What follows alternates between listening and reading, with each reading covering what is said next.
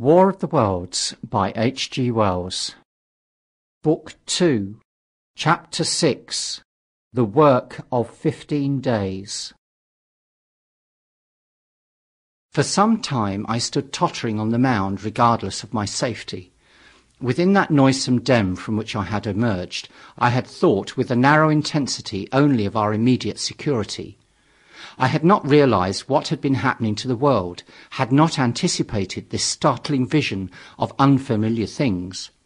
I had expected to see Sheen in ruins. I found about me the landscape, weird and lurid, of another planet. For that moment I touched an emotion beyond the common range of men, yet one that the poor brutes we dominate know only too well. I felt as a rabbit might feel returning to his burrow and suddenly confronted by the work of a dozen busy navvies digging the foundations of a house. I felt the first inkling of a thing that presently grew quite clear in my mind, that oppressed me for many days, a sense of dethronement, a persuasion that I was no longer a master, but an animal among the animals, under the Martian heel. With us it would be as with them, to lurk and watch, to run and hide. The fear and empire of man had passed away.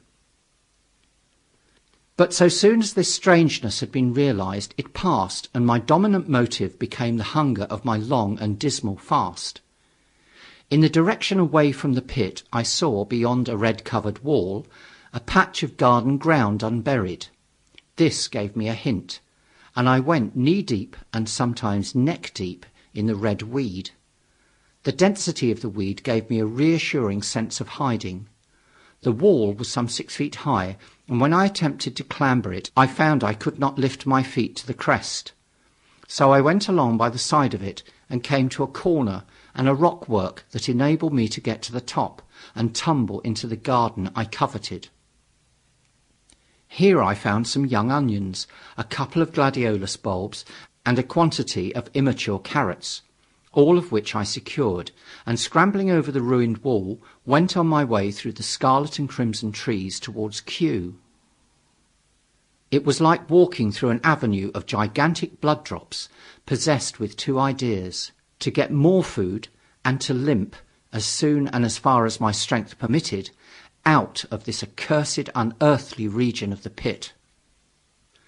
Some way farther, in a grassy place, was a group of mushrooms which also I devoured, and then I came upon a brown sheet of flowing shallow water where meadows used to be. These fragments of nourishment served only to whet my hunger.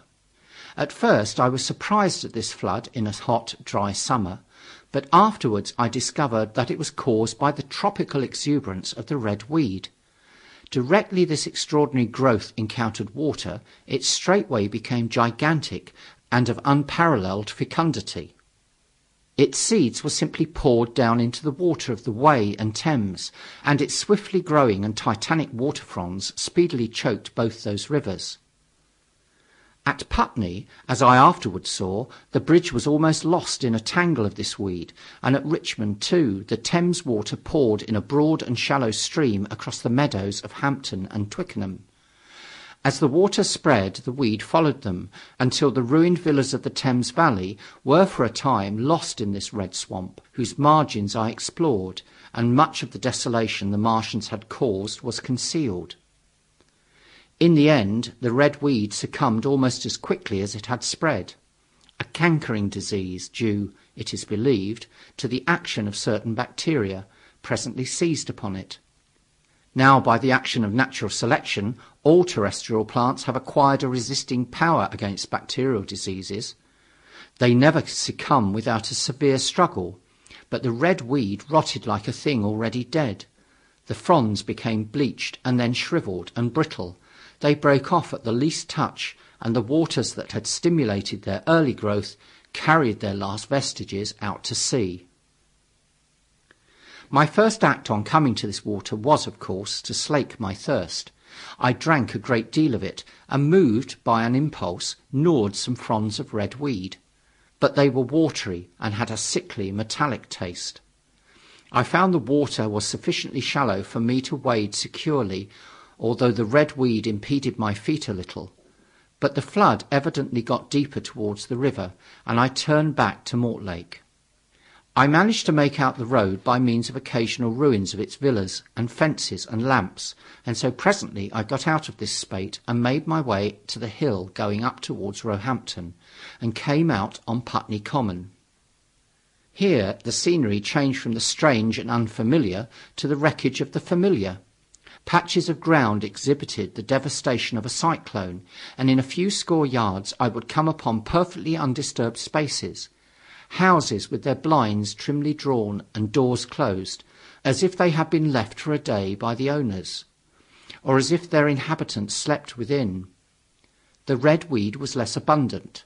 The tall trees along the lane were free from the red creeper. I hunted for food among the trees, finding nothing, and I also raided a couple of silent houses, but they had already been broken into and ransacked. I rested the remainder of the daylight in a shrubbery, being, in my enfeebled condition, too fatigued to push on. All this time I saw no human beings and no signs of the Martians. I encountered a couple of hungry looking dogs, but both hurried circuitously away from the advances I made them. Near Roehampton I had seen two human skeletons, not bodies, but skeletons, picked clean, and in the wood by me I found the crushed and scattered bones of several cats and rabbits and the skull of a sheep. But though I gnawed parts of these in my mouth, there was nothing to be got from them. After sunset I struggled on along the road towards Putney, where I think the Heat Ray must have been used for some reason. And in the garden beyond Roehampton I got a quantity of immature potatoes, sufficient to stay my hunger. From this garden one looked down upon Putney and the river. The aspect of the place in the dusk was singularly desolate.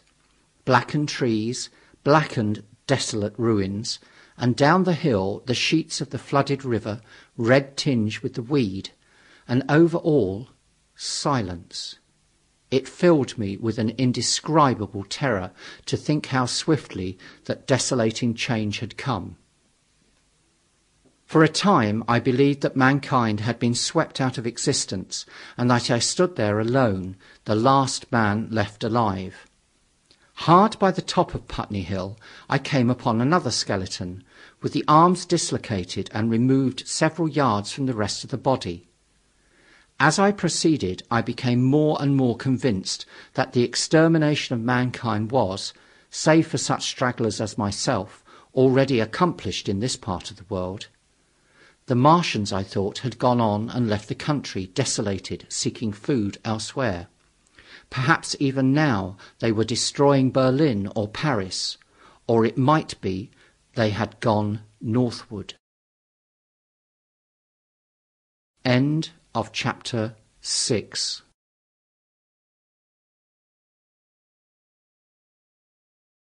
War of the Worlds by H. G. Wells Book 2 Chapter 7 The Man on Putney Hill I spent that night in the inn that stands at the top of Putney Hill, sleeping in a made bed for the first time since my flight to Leatherhead. I will not tell the needless trouble I had breaking into that house. Afterwards I found the front door was on the latch, nor how I ransacked every room for food, until just on the verge of despair, in what seemed to me to be a servant's bedroom, I found a rat-gnawed crust and two tins of pineapple. The place had already been searched and emptied. In the bar I afterwards found some biscuits and sandwiches that had been overlooked. The latter I could not eat, they were too rotten, but the former not only stayed my hunger, but filled my pockets. I lit no lamps, fearing some Martians might come beating that part of London for food in the night. Before I went to bed I had an interval of restlessness and prowled from window to window, peering out for some sign of these monsters. I slept little.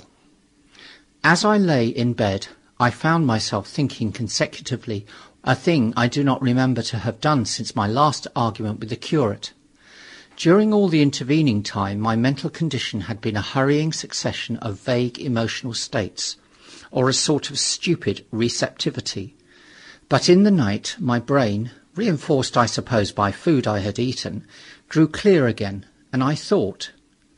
Three things struggled for possession of my mind the killing of the curate, the whereabouts of the Martians, and the possible fate of my wife. The former gave me no sensation of horror or remorse to recall. I saw it simply as a thing done, a memory infinitely disagreeable, but quite without the quality of remorse. I saw myself then as I see myself now, driven step by step towards that hasty low, the creature of a sequence of accidents leading inevitably to that. I felt no condemnation, yet the memory, static, unprogressive, haunted me. In the silence of the night, with that sense of the nearness of God that sometimes comes into the stillness and the darkness, I stood my trial, my only trial, for that moment of wrath and fear. I retraced every step of our conversation from the moment when I had found him crouching beside me, heedless of my thirst, and pointing to the fire and smoke that streamed up from the ruins of Weybridge. We had been incapable of cooperation. Grim chance had taken no heed of that. Had I foreseen, I should have left him at Halliford. But I did not foresee, and crime is to foresee and do and I set this down as I have set all this story down, as it was. There were no witnesses, all these things I might have concealed, but I set it down, and the reader must form his judgment as he will. And when, by an effort, I had set aside that picture of a prostrate body, I faced the problem of the Martians and the fate of my wife. For the former I had no data. I could imagine a hundred things, and so, unhappily, I could for the latter. And suddenly that night became terrible. I found myself sitting up in bed staring at the dark. I found myself praying that the heat ray might have suddenly and painlessly struck her out of being. Since the night of my return from Leatherhead I had not prayed. I had uttered prayers, fetish prayers, had prayed as heathens mutter charms when I was in extremity, but now I prayed indeed, pleading steadfastly and sanely, face to face with the darkness of God.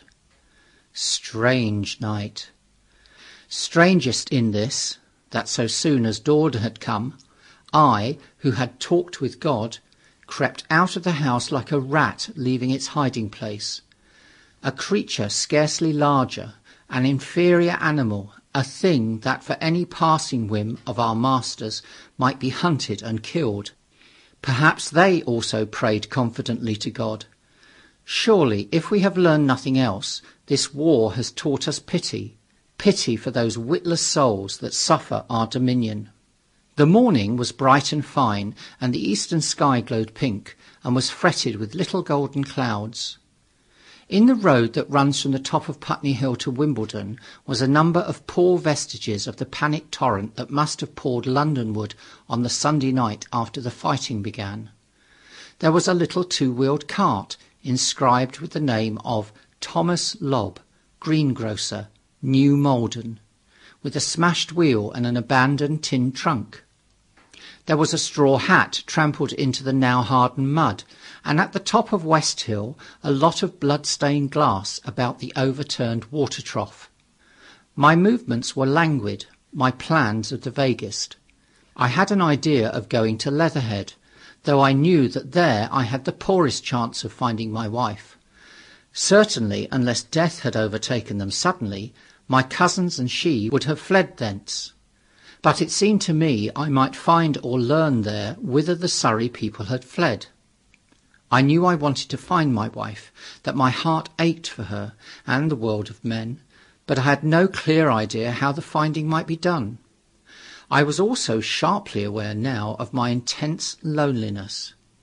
From the corner I went, under cover of a thicket of trees and bushes, to the edge of Wimbledon Common, stretching wide and far. That dark expanse was lit in patches by yellow gorse and broom. There was no red weed to be seen, and as I prowled hesitatingly on the verge of the open, the sun rose, flooding it all with light and vitality. I came upon a busy swarm of little frogs in a swampy place among the trees. I stopped to look at them, drawing a lesson from their stout resolve to live. And presently, turning suddenly, with an odd feeling of being watched, I beheld something crouching amid a clump of bushes. I stood regarding this. I made a step towards it, and it rose up and became a man armed with a cutlass. I approached him slowly. He stood silent and motionless, regarding me. As I drew nearer I perceived he was dressed in clothes as dusty and filthy as my own. He looked, indeed, as though he had been dragged through a culvert. Nearer I distinguished the green slime of ditches mixing with the pale drab of dried clay and shiny, coaly patches. His black hair fell over his eyes, and his face was dark and dirty and sunken, so that at first I did not recognize him. There was a red cut across the lower part of his face. "Stop!" he cried, when I was within ten yards of him, and I stopped. His voice was hoarse. "Where do you come from?" he said. I thought, surveying him. "I come from Mortlake," I said. "I was buried near the pit the Martians made about their cylinder. I have worked my way out and escaped." "There is no food about here," he said. "This is my country. All this hill down to the river, and back to Clapham, and up to the edge of the common. There is only food for one. Which way are you going?" I answered slowly. "I don't know," I said. "I have been buried in the ruins of a house thirteen or fourteen days. I don't know what has happened."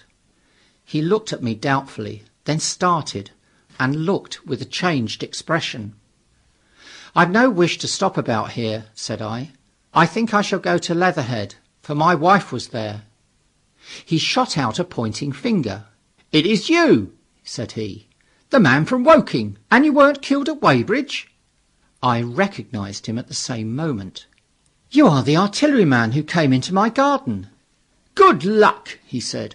"We are lucky ones. Fancy you!" He put out a hand, and I took it. "I crawled up a drain," he said, "but they didn't kill everyone, and after they went away I got off towards Walton across the fields. But it's not sixteen days altogether, and your hair is grey." He looked over his shoulder suddenly. "Only a rook," he said. One gets to know that birds have shadows these days. This is a bit open. Let us crawl under those bushes and talk." "Have you seen any Martians?" I said. "Since I crawled out "They've gone away, cross London," he said. "I guess they've got a bigger camp there. Of a night, all over there, Hampstead way, the sky's alive with their lights. It's like a great city, and in the glare you can just see them moving. By daylight you can't. But nearer I haven't seen them counted on his fingers. Five days. Then I saw a couple across Hammersmith way, carrying something big. And the night before last, he stopped and spoke impressively, it was just a matter of lights, but it was something up in the air. I believe they've built a flying machine and are learning to fly. I stopped, on hands and knees, for we had come to the bushes. Fly? Yes, he said, fly. I went on into the little bower and sat down. It is all over with humanity, I said. If they can do that, they will simply go round the world. He nodded. They will, but it will relieve things over here a bit, and besides, he looked at me, aren't you satisfied it is up with humanity? I am. We're down. We're beat. I stared. Strange as it may seem, I had not arrived at this fact, a fact perfectly obvious so soon as he spoke. I had still held a vague hope, rather I had kept a lifelong habit of mind. He repeated his words. We're beat. They carried absolute conviction. It's all over, he said. They've lost one, just one, and they've made their footing good and crippled the greatest power in the world. They've walked over us.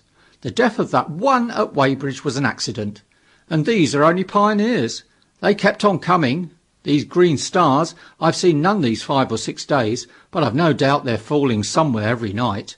Nothing to be done. We're under. We're beat. I made him no answer. I sat staring before me, trying in vain to devise some countervailing thought.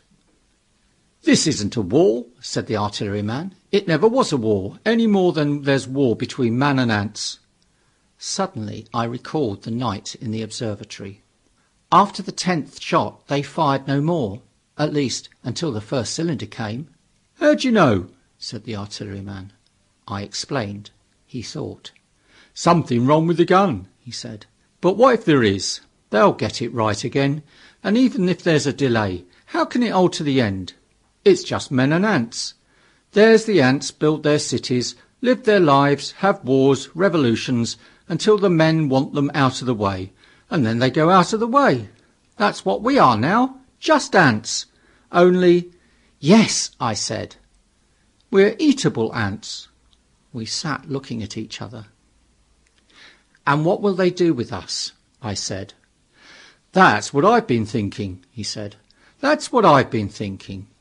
After Weybridge, I went south, thinking. I saw what was up. Most of the people were hard at it, squealing and exciting themselves. But I'm not so fond of squealing. I've been in sight of death once or twice. I'm not an ornamental soldier, and at the best and worst, death is just death. And it's the man that keeps on thinking that comes through. I saw everyone tracking away south. Says I, food won't last this way, and I turned right back. I went for the Martians like a sparrow goes for man. All round, he waved a hand to the horizon. They're starving in heaps, bolting, treading on each other. He saw my face and halted awkwardly. No doubt lots who had money have gone away to France, he said. He seemed to hesitate whether to apologise, met my eyes and went on. There's food all about here, canned things in shops, wines, spirits, mineral waters, and the water mains and drains are empty. Well, I was telling you what I was thinking.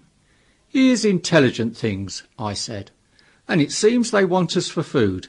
First they'll smash us up. Ships, machines, guns, cities, all the order and organisation, all that will go. If we were the size of ants, we might pull through, but we're not. It's all too bulky to stop. That's the first certainty. Eh? I assented. It is. I've thought it out. Very well then, next. At present we're caught as we're wanted. A Martian has only to go a few miles to get a crowd on the run, and I saw one one day out by Wandsworth picking houses to pieces and routing among the wreckage. But they won't keep on doing that. So soon as they've settled all our guns and ships and smashed our railways and done all the things they are doing over there, they will begin catching us systematic, picking the best and storing us in cages and things. That's what they will start doing in a bit. Lord, they haven't begun on us yet. Don't you see that? Not begun? I exclaimed. Not begun. All that's happened so far is through our not having the sense to keep quiet worrying them with guns and such foolery, and losing our heads and rushing off in crowds to where there wasn't any more safety than where we were. They don't want to bother us yet. They're making their things, making all the things they couldn't bring with them, getting things ready for the rest of their people. Very likely that's why the cylinders have stopped for a bit, for fear of hitting those who are here. And instead of us rushing around blind on the howl, or getting dynamite on the chance of busting them up, We've got to fix ourselves up according to the new state of affairs. That's how I figure it out. It isn't quite according to what a man wants for his species, but it's about what the facts point to. And that's the principle I acted upon. Cities, nations, civilization, progress, it's all over. That game's up. We're beat. But if that's so, what is there to live for? The artilleryman looked at me for a moment. There won't be any more blessed concerts for a million years or so. There won't be any Royal Academy Arts, and no nice little feeds at restaurants. If it's amusement you're after, I reckon the game is up. If you've got any drawing room manners, or a dislike to eating peas with a knife, or dropping H's, you'd better chuck 'em away. There ain't no further use. You mean? I mean that men like me are going on living for the sake of the breed. I tell you, I'm grim set on living. And if I'm not mistaken, you'll show what insides you've got too before long. We aren't going to be exterminated. And I don't mean to be caught either, and tamed, and fattened, and bred like a thundering ox. Ugh! Fancy those brown creepers. You don't mean to say... I do. I'm going on, under their feet. I've got it planned. I've thought it out. We men are best. We don't know enough. We've got to learn before we've got a chance, and we've got to live and keep independent while we learn. See? That's what has to be done. I stared astonished and stirred profoundly by the man's resolution. Great God! cried I. But you are a man indeed. And suddenly I gripped his hand. Eh? Said he with his eyes shining. I thought it out, eh? Go on, I said. Well, those who mean to escape their catching must get ready. Mind you, it isn't all of us that are made for wild beasts, and that's what it's got to be. That's why I watched you. I had my doubts. You're slender. I didn't know that it was you, you see, and just how you'd been buried. All these, the sort of people that lived in these houses, and all those damn little clerks that used to live down that way, they'd be no good. They haven't any spirit in them, no proud dreams, and no proud lusts. And a man who hasn't one or the other, Lord, what is he but funk and precautions? They just used to skedaddle off to work. I've seen hundreds of 'em, bit of breakfast in hand, running wild and shining to catch their little season ticket train, for fear they'd get dismissed if they didn't.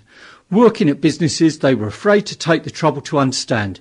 Skedaddling back for fear they wouldn't be in time for dinner keeping indoors after dinner for fear of the back streets, and sleeping with the wives they married not because they wanted them, but because they had a bit of money that would make for safety in their one little miserable skedaddle through the world. Lives insured and a bit invested for fear of accidents, and on Sundays, fear of the hereafter, as if hell was built for rabbits. Well, the Martians will just be a godsend to these. Nice roomy cages, fattening food, careful breeding, no worry. After a week or so chasing about the fields and lands on empty stomachs, they'll come and be caught cheerful. They'll be quite glad after a bit. They'll wonder what people did before there were Martians to take care of them.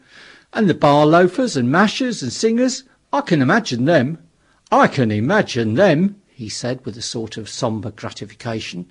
There'll be any amount of sentiment and religion loose among 'em. There's hundreds of things I saw with my eyes that I've only begun to see clearly these last few days. There's lots will take things as they are, fat and stupid, and lots will be worried by a sort of feeling that it's all wrong and that they ought to be doing something. Now, whenever things are so that a lot of people feel they ought to be doing something, the weak, and those who go weak with a lot of complicated thinking, always make a sort of do-nothing religion, very pious and superior, and submit to persecution and the will of the Lord. Very likely you've seen the same things its energy in the gale of funk and turn clean inside out. These cages will be full of psalms and hymns and piety, and those of a less simple sort will work in a bit of, what is it, eroticism. He paused. Very likely these Martians will make pets of some of them, train them to do tricks, you know, get sentimental over the pet boy who grew up and had to be killed. And some, maybe, they will train to hunt us. No, I cried. That's impossible. No human being. What's the good of going on with such lies? said the artilleryman. There's men who do it cheerful. What nonsense to pretend there isn't. And I succumbed to his conviction. If they come after me, he said, Lord, if they come after me, and subsided into grim meditation. I sat contemplating these things. I could find nothing to bring against this man's reasoning. In the days before the invasion, no one would have questioned my intellectual superiority to his. I, a professed and recognized writer on philosophical themes, and he, a common soldier. And yet he had already formulated a situation that I had scarcely realized. What are you doing? I said presently. What plans have you made? He hesitated. Well, it's like this, he said. What have we to do? We have to invent a sort of life where men can live and breed and be sufficiently secure to bring the children up. Yes, wait a bit, and I'll make it clearer what I think ought to be done. The tame ones will go like all tame beasts. In a few generations they'll be big, beautiful, rich-blooded, stupid, rubbish. The risk is that we who keep wild will go savage, degenerate into a sort of big, savage rat. You see, how I mean to live is underground. I've been thinking about the drains. Of course, those who don't know drains think horrible things, but under this London are miles and miles, hundreds of miles, and a few days' rain and London empty will leave them sweet and clean. The main drains are big enough and airy enough for anyone.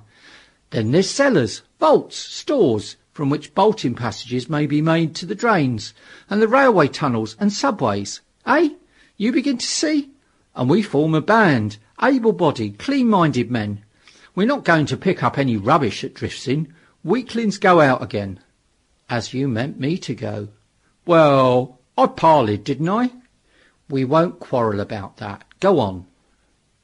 Those who stop obey orders. Able-bodied, clean-minded women we want also. Mothers and teachers. No lackadaisical ladies, no blasted rolling eyes. We can't have any weak or silly.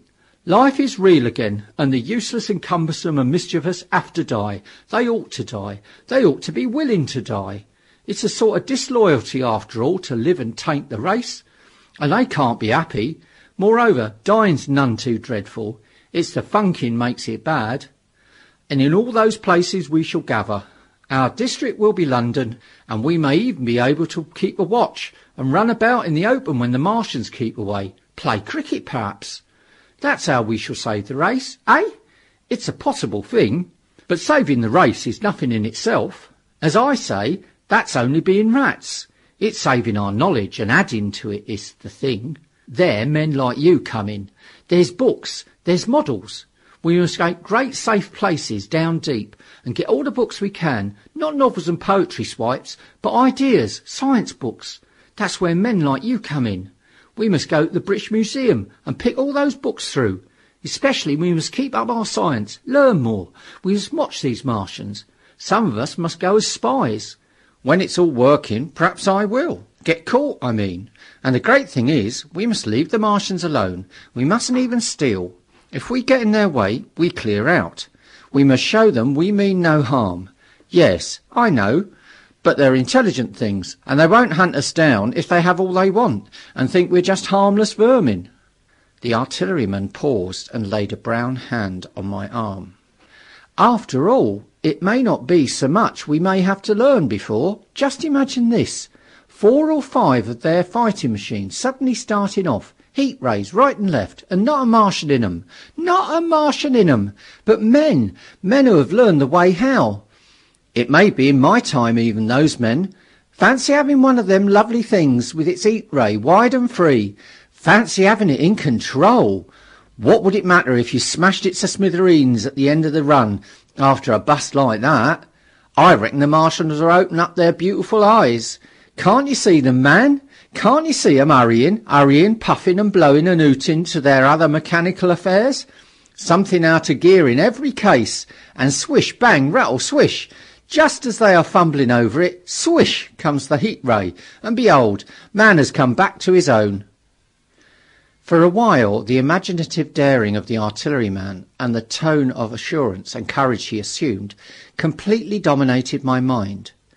I believed unhesitatingly both in his forecast of human destiny and in the practicability of his astonishing scheme and the reader who thinks me susceptible and foolish must contrast his position, reading steadily with all his thought about his subject, and mine, crouching fearfully in the bushes and listening distracted by apprehension.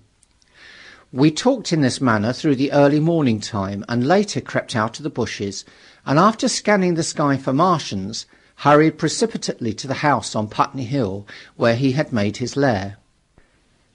It was the coal cellar of the place and when I saw the work he had spent a week upon, it was a burrow scarcely ten yards long, which he designed to reach to the main drain on Putney Hill, I had my first inkling of the gulf between his dreams and his powers. Such a hole I could have dug in a day, but I believed in him sufficiently to work with him all that morning until past midday at his digging. We had a garden barrow, and shot the earth we removed against the kitchen range. We refreshed ourselves with a tin of mock turtle soup and wine from the neighbouring pantry. I found a curious relief from the aching strangeness of the world in this steady labour. As we worked, I turned his project over in my mind, and presently objections and doubts began to arise. But I worked there all morning, so glad was I to find myself with a purpose again. After working an hour, I began to speculate on the distance one had to go before the cloaca was reached, the chances we had of missing it altogether. My immediate trouble was why we should dig this long tunnel when it was possible to get into the drain at once down one of the manholes and work back to the house. It seemed to me, too, that the house was inconveniently chosen and required a needless length of tunnel. And just as I was beginning to face these things, the artilleryman stopped digging and looked at me. "We're working well," he said. He put down his spade. "Let us knock off a bit," he said. "I think it's time we reconnoitred from the roof of the house." I was for going on, and after a little hesitation he resumed his spade, and then suddenly I was struck by a thought. I stopped, and so did he at once.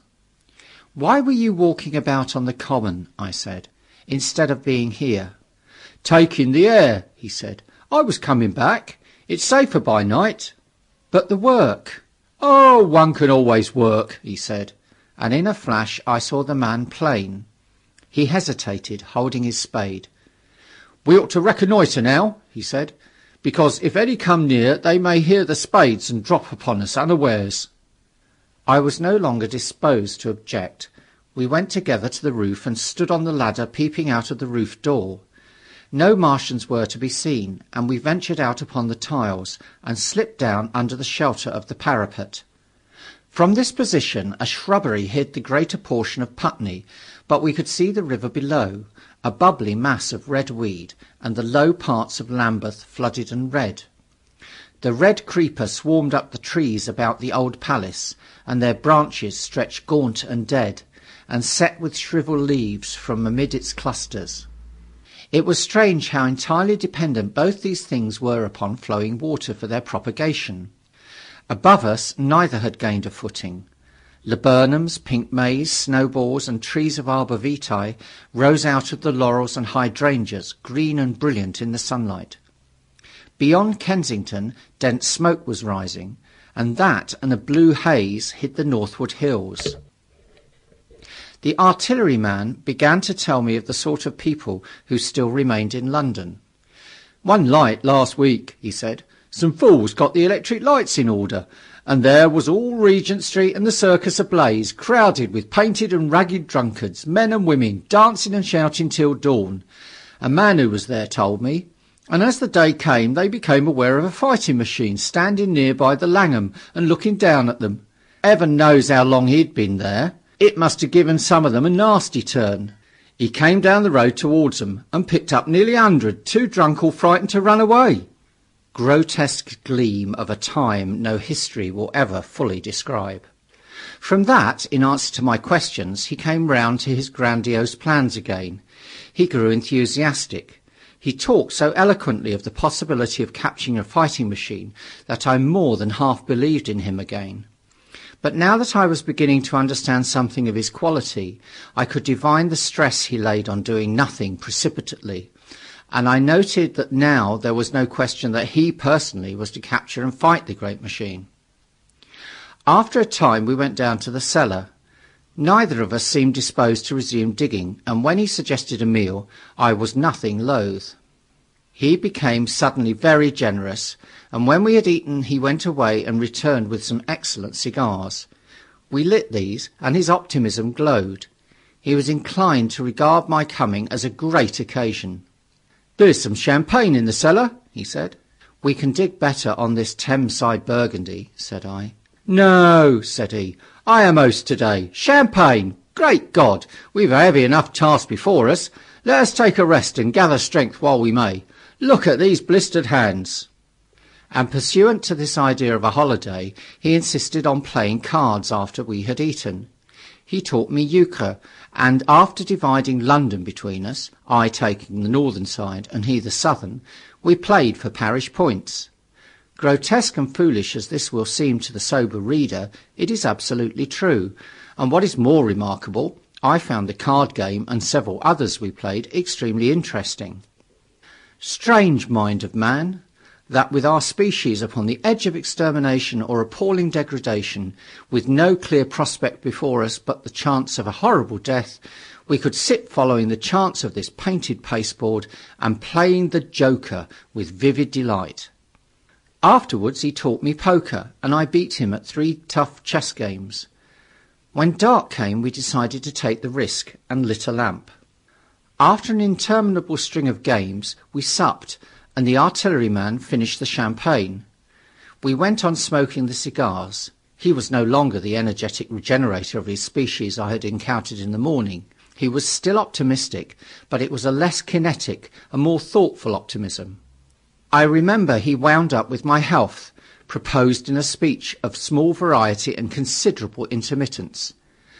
I took a cigar and went upstairs to look at the lights of which he had spoken that blazed so greenly along the Highgate hills. At first I stared unintelligently across the London valley. The northern hills were shrouded in darkness.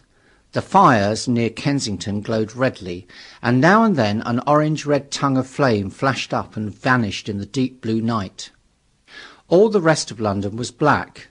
Then nearer I perceived a strange light, a pale, violet-purple fluorescent glow, quivering under the night breeze. For a space I could not understand it, and then I knew that it must be the red weed from which this faint irradiation proceeded. With that realization my dormant sense of wonder, my sense of the proportion of things, awoke again. I glanced from that to Mars, red and clear, glowing high in the west, and then gazed long and earnestly at the darkness of Hampstead and Highgate. I remained a very long time upon the roof, wondering at the grotesque changes of the day. I recalled my mental states from the midnight prayer to the foolish card playing. I had a violent revulsion of feeling. I remember I flung away the cigar with a certain wasteful symbolism.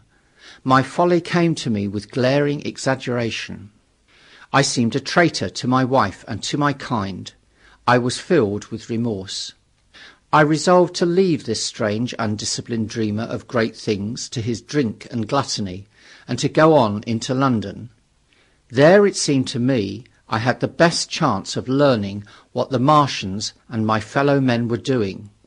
I was still upon the roof when the late moon rose. End of chapter 7